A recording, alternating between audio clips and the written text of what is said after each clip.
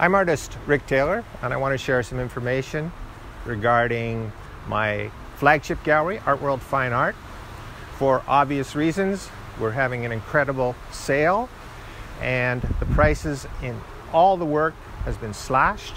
For example, my own streetcar paintings are now half price for the time being, as are my abstracted landscapes, also available in Art World Fine Art. If you're interested in taking advantage of this, maybe you're a young collector who wants to build a collection on a limited budget, this is the time. Additionally, I'm working on a new series of streetcars.